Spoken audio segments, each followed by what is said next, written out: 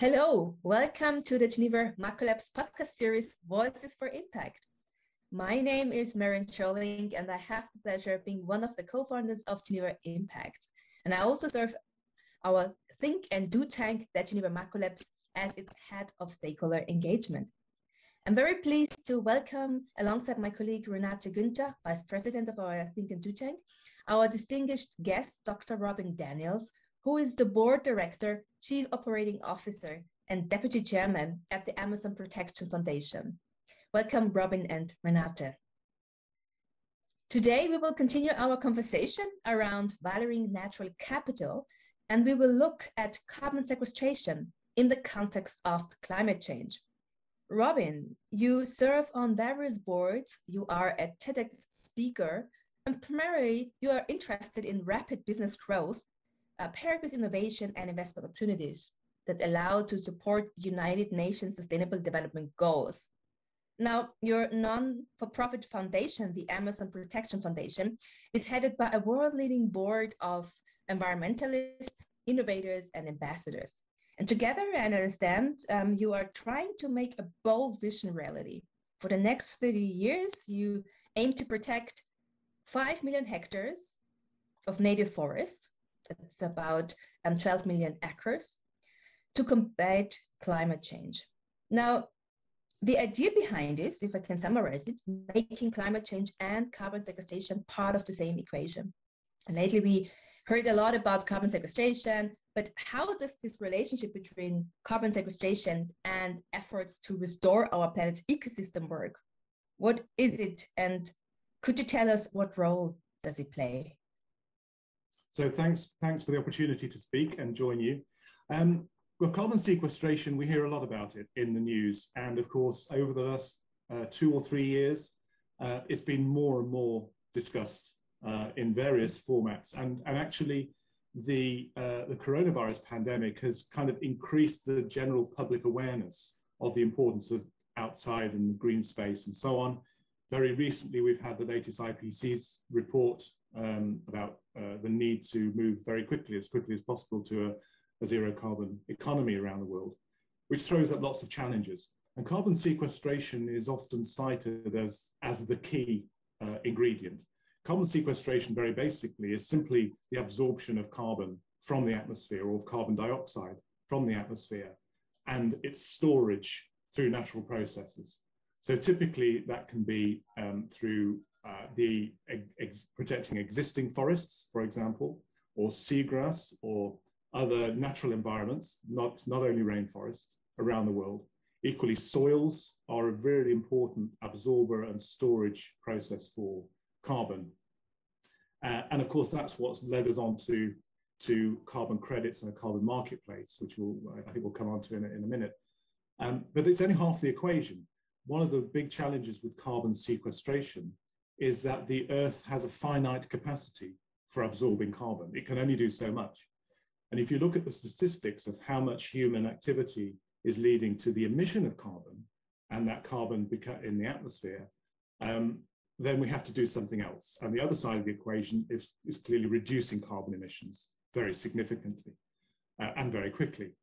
And uh, that's about looking at uh, manufacturing and transport and shipping cities are incredibly important. Within 20 or 30 years, more than half the global population will be in cities. So in many ways, the battle against climate change will be won or lost in our cities around the world, which presents many, many other challenges. Not least is the, uh, the, the so-called north-south divide, or the developing versus the developed world divide, where countries who are quickly developing, quite rightly, um, expect to achieve the same standards of living that they see in more developed countries. But what we have to do is decouple um, population growth and the growth of cities from damage to the climate and the environment. And so carbon sequestration is a, is a key component in that toolkit of approaches, but it's only part of it. It's only one element of, of the things we need to think about. Thank you, uh, Robin. Now, taking all these elements together that you just have mentioned, I would even say that only a system solution which rewards positive action can be sustainable, right? Rather than punishing action that we don't uh, need for sustainable future, we would uh, look into how we can reward positive action. Now, what do you think? How can we best prevent and reverse the um, degradation of our global ecosystem? You already mentioned um, some fraction between south and north, but what can we actually do about it? The first priority has to be um, reducing uh, the emission of carbon dioxide into the atmosphere. Um, but I think really important is this idea of reward that you mentioned. Um, there's a sense sometimes, I think, for, for everyone when they see the news and they see what's happening with the environment, that it, it might appear just to be too much of a problem. It's a huge problem. It's kind of an existential threat out there. And what can individuals do about that? Uh, is a really important question. Now, I'm, I'm particularly fortunate because I'm in a position where I'm working with really talented people on addressing some of these challenges directly. Uh, and there are more and more people engaged and focused on this. And encouragingly, I see uh, younger people coming out of college, coming out of university, seeing this as not only a great career opportunity, which it clearly is, but also something that they, they kind of feel in here. It's, it's, you know, it's something they want to, to do. So the most important thing is that collectively we recognize that things need to change now. This is on our watch and it's our responsibility to make a change. And that can be at a very individual, personal level, thinking about uh, lifestyle and what you consume and how you travel and all those things that we increasingly are well understood. But also at the other end of the spectrum, doing what we can to influence politicians and large business in particular. In the end, my belief is that the solution will be will come from the private sector it will be there will be commercial solutions that that close the loop uh, between the need to um, invest in ways to improve the environment and reduce emissions um, and an opportunity to make money from it. Because only only solutions that are sustainable financially and economically and commercially will be sustainable at all in the end. And then at some point hopefully governments will catch up and tax tax uh, uh, incentives and policies will become aligned behind this, but we cannot wait for governments to change legislation before we start taking action. Exactly, everybody has to take its place.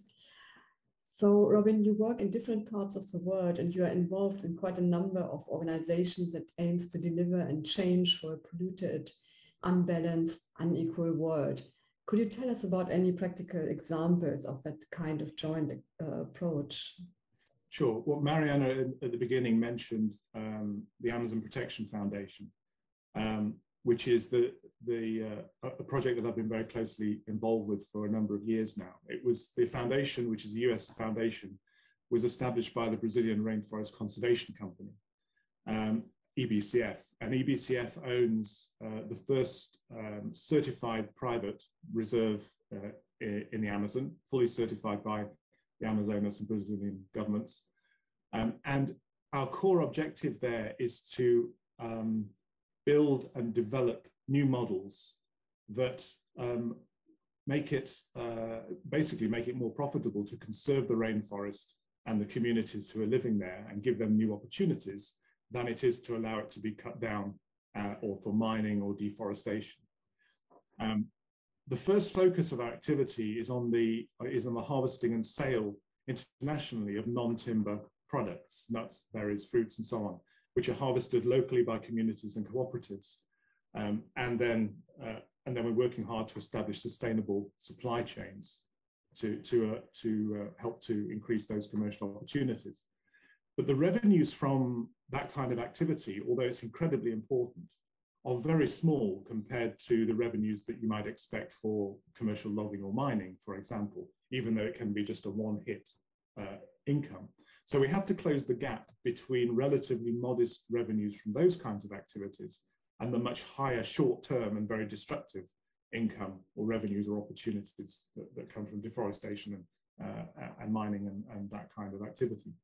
And so we have built on that basis a number of other activities, uh, which really focus on the idea of creating a number of protected reserves uh, in the Amazon and expanding the, the, footprint that we have we, we currently have about 20,000 hectares, and as Mariana said, we're expanding that significantly at the moment and in future years. Um, carbon credits is, is a component of that as well. So the, the reserve is, is fully certified and we, we uh, there's, a, there's a periodic verification process that has to take place and so on. Um, but we're also very interested in science and technology and innovation and using the reserve as a way to better understand the flora and fauna of the rainforest in a way that both um, gives us a better understanding of its health and how it's developing and what the threats to it might be, but also to recognize that there are huge undiscovered uh, medical therapies or other, uh, other benefits from the rainforest that, other, that if the rainforest goes are lost forever. Um, and so it's a combination of things, which, and these activities are based around four pillars from our point of view of environmental, uh, climatic, social, and economic or financial. Uh, and what's critically important is this approach, this systems approach, we think, so that it's not just carbon, carbon is important, carbon sequestration is an element. Um, uh, economic and financial solutions are an important element. The uh, uh, uh, sustainability and conservation are a key element, but really it all has to come together as a coherent package. And at the heart of it are the people living there. So in the uh, in the reserve as it stands at the moment, are about 30,000 families working and living uh, there, and they have to be part of the solution because if they're not part of the solution, then uh, we're never going to achieve anything. It has to it has to be owned, truly owned legitimately and demonstrably owned and driven uh, by the people who are living in these communities because they're a fundamental part of the solution. So I think it's a case of bringing together this combination of people, planet, and profit in a, right. in a coherent manner. uh, and, and particularly as um, the, the approach to decarbonisation and the approach to fight, fighting the climate crisis becomes more sophisticated and investors become more sophisticated, they will increasingly see that if it's going to be replicable, if a solution is going to be replicable and scalable and sustainable in every way, then it has to be a systems solution that takes account of all these variables. Exactly. So maybe can you wrap up again what what makes um, your work a good example for sustainable finance? You already mentioned it uh, before, yeah. but just to to wrap it up. So it's I think it's I think it's a really good example because we actually recognize that finance is is a really key lever to pull. Um, if it's if the solution, as I mentioned before, the solution isn't sustainable, whatever solution it is financially, then it won't be solution a, solution at all. It won't be sustainable. Um, and so what we have uh, in the uh, in the EBCF project in the rainforest is the um, is the basis of non-timber uh, harvesting and sales, which on its own turns a profit. And, and profits from that go directly back into social projects in the community. So, and they can be very basic projects, uh, improving, uh, improving housing, sanitation, water quality, and so on. Um, educational opportunities for the young people is incredibly important. So that's a really big priority for us. Health and well-being, uh, gender equality, equality of opportunity for the, within the communities. So we plow all that straight back in. So that, that already creates a, a virtuous circle between a commercial activity where everyone is involved and social cohesion and strength and, uh, and so on. And that's the model that we replicate in all of these other activities. So even when we start to think about the application of technologies uh, we're developing the idea of a, a, digital twin for natural assets, for example, and the use of robotics and artificial intelligence and so on. Um, we're really keen that that all is understood and owned and developed in the reserve by the people uh, involved there because it really opens up lots of new opportunities, uh, not only for them personally, but for us to collectively to come up with more coherent solutions. So the EBCF project is really the, the most, or certainly one of the most mature approaches to this whole challenge, certainly that I, have seen.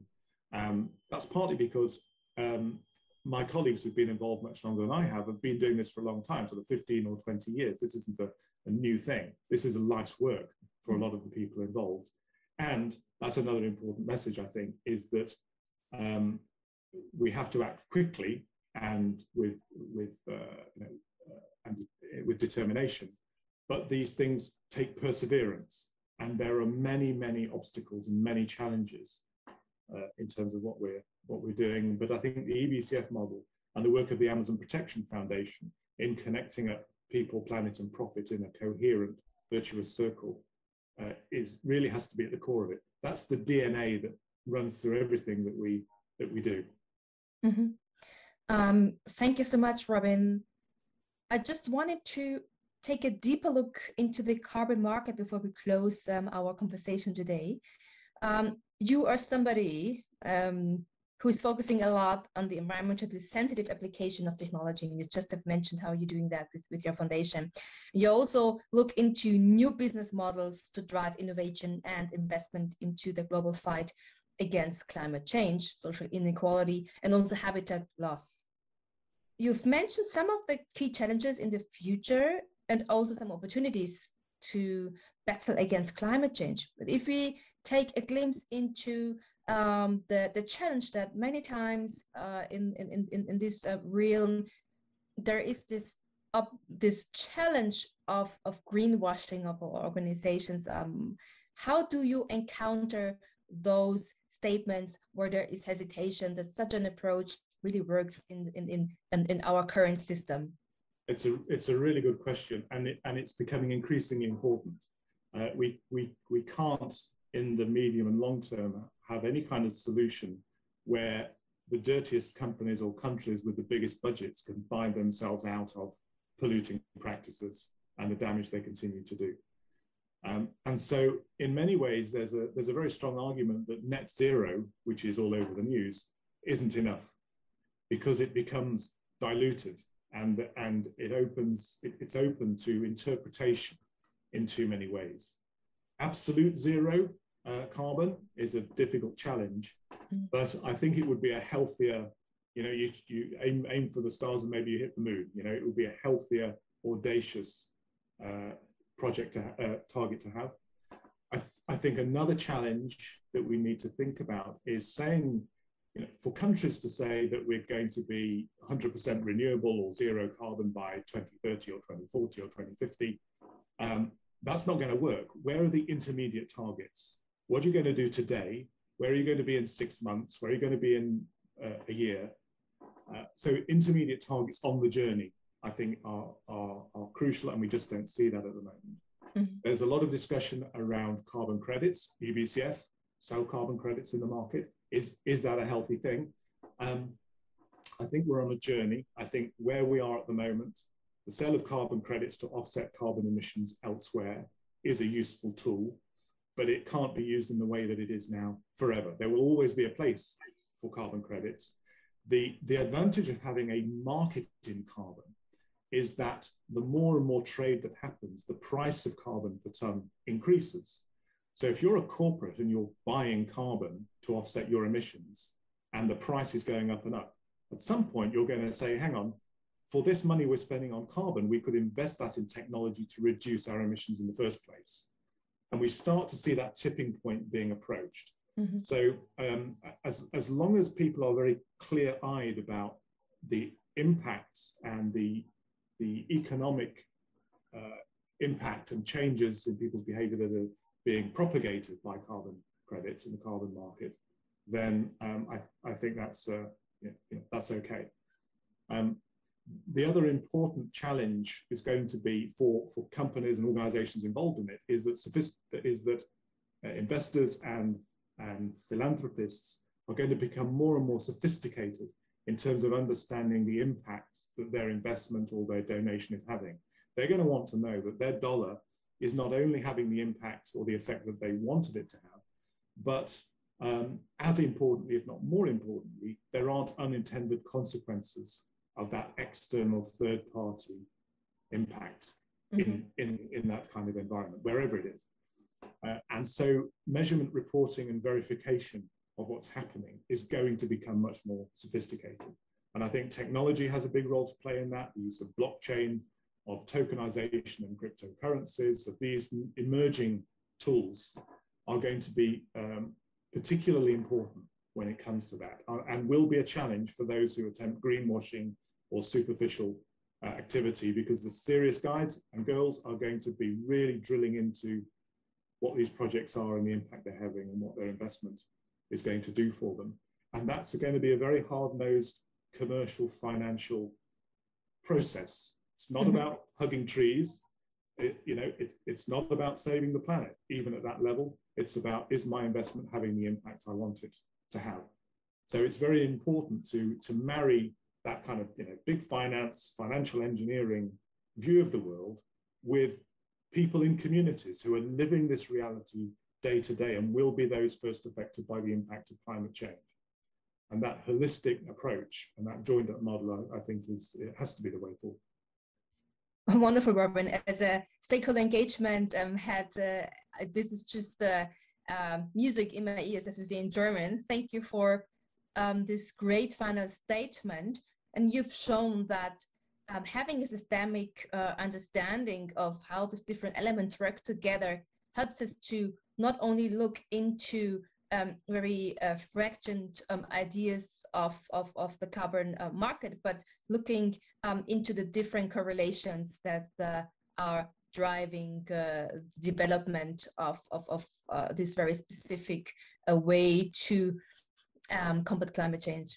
Thank you so much for your deliberations, for your thoughts, for this conversation. Thank you also, Renata, being my, my co-moderator.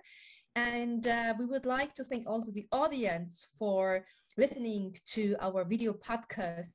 And uh, we would like um, all of you to uh, have a look at our campaign and website. We are working on a very interesting uh, project that kind of um, uses um, such a systemic approach that you, Robin, um, just described.